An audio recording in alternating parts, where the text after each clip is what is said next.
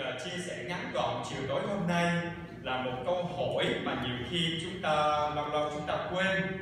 Là sứ điệp hay là thông điệp của mùa phục sinh là gì? Mùa phục sinh. Thường thì chúng ta chỉ nghĩ thoáng thôi. Phục sinh hay gọi tiếng Anh là Easter hay là Pasqua tiếng Mễ hoặc là gọi là Resurrection phục sinh. Nhưng cái thông điệp chính mà Chúa Giêsu Kitô muốn nhắn nhủ mọi người là là gì? Bài đọc 1 từ sách Tông đồ công vụ đã trả lời cho chúng ta điều đó. Và nhiều khi chúng ta quên đi, nhưng mà thật sự ra thông điệp phục sinh không có gì mới mẻ cả hoàn toàn là những gì mà Chúa Giêsu Kitô đã loan báo trong 3 năm đời sống phục vụ công khai của Ngài. Và con đã bật mí rồi cho các cháu thiếu nhi sám hối và ăn năn. Rất đơn giản, nhưng nhiều khi chúng ta quên.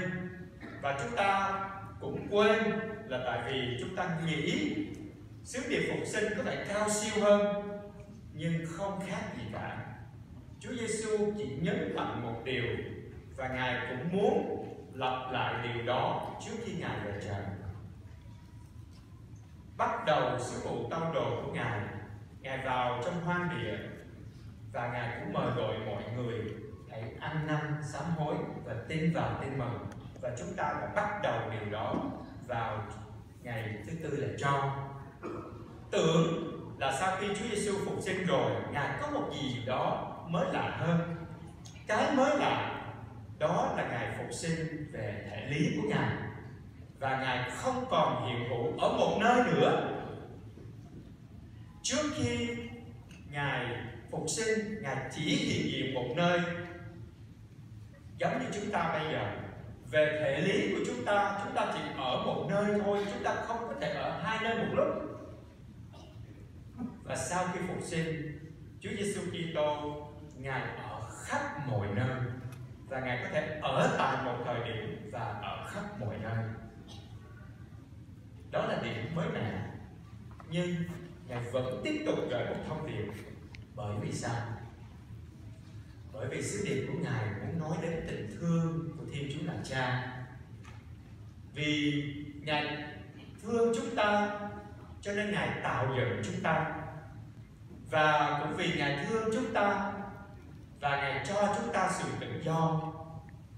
Và chúng ta cũng vì lợi dụng cái sự tự do đó và cũng bị yếu đuối con người, cho nên chúng ta phạm tội. Và khi chúng ta phạm tội, chúng ta nhận được một cái kỷ luật. Và trong cái kỷ luật này, đòi hỏi chúng ta phải có tinh thần sám hối và ăn năn. Và chính vì thế, Thiên Chúa là Cha đã gửi người con của Ngài xuống, vẫn tiếp tục loan báo tin mừng này, để mời gọi mọi người chúng ta được sám hối ăn năn tin truyền để trở về nước thiên đàng. Cũng không có gì mới mẻ cả, nhưng nó là một vòng tròn. Điểm bắt đầu và điểm kết thúc vẫn là một. Bởi vì thế, sau khi ngài phục sinh, ngài vẫn muốn mọi người chúng ta tiếp tục sống trong tinh thần đó. Bởi vì nếu chúng ta tuyên xưng vào Chúa Giêsu Kitô phục sinh là chúng ta tin rằng chúng ta sẽ được phục sinh với Ngài. Bởi vì chúng ta tuyên xưng Ngài là sự sống lại và là sự sống. Nếu ai có chết rồi mà vẫn tin Ngài thì vẫn được sự sống đời đời. Đó là niềm tin. Nhưng nếu chúng ta không ăn năn, không sám hối, không hóa cải thì chúng ta cũng vô phương không đón nhận được đời sống đời đời đó đâu. Bởi vì thế, Con xin được lặp lại. Thiên Chúa đã hoàn tất việc người dùng miệng các tiên tri mà báo trước. Đó là thời của ước. Đức Kitô của Ngài, tức là Đức Kitô của Thiên Chúa và Cha, phải chịu khổ hình. Vậy anh em tiếp tục ăn năn hối cải, ngõ hầu tội lỗi anh em được xóa bỏ. Trong tinh thần đó, chúng ta tiếp tục sống sứ điệp của phục sinh. Để rồi mọi người chúng ta một lần nữa, chúng ta không còn phải lo lắng gì nhiều. Chúng ta còn lo lắng là bởi vì chúng ta chưa hoán cải, mà chúng ta tâm hồn chúng ta chưa có bình an là cũng bởi vì chúng ta chưa ăn năn.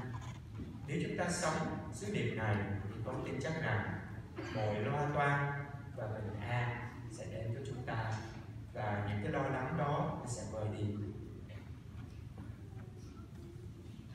Mời sơ